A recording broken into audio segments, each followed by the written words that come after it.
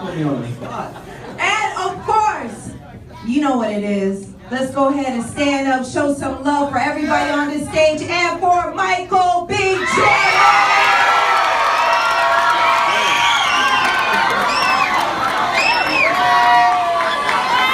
Hello, how you guys doing? What's up, man? Love you guys too.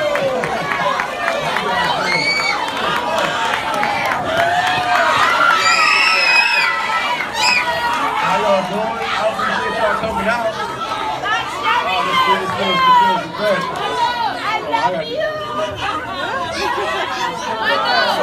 Oh.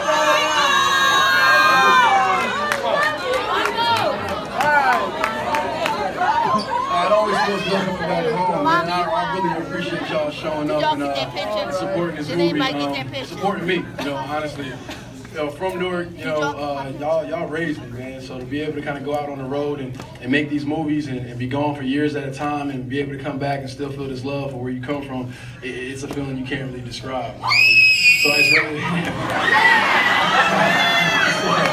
so, so I, I, I'm really excited about this film. You know, Steven Caple. You know, he he uh, he took over this, uh, this this franchise and really and really put his fingerprints all on it. Man, we worked really really hard to put this project together. This is the first time I was able to do a sequel to any movie.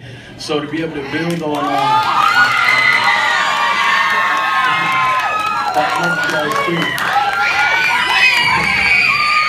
So to be able to build on these characters and build on these relationships, it, it, it means the world to me. This is a franchise that I plan on giving y'all a lot of, so I, I hope you guys dig it and enjoy it.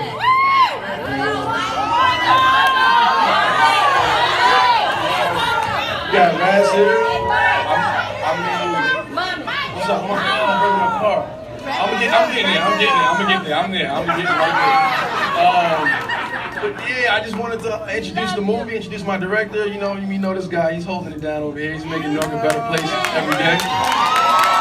And um, and, I want y'all to enjoy this movie, man, because we really put our, our blood, sweat, and tears in it. So enjoy it, and I, I'll see y'all later. Come on, dude. Y'all can do better than that.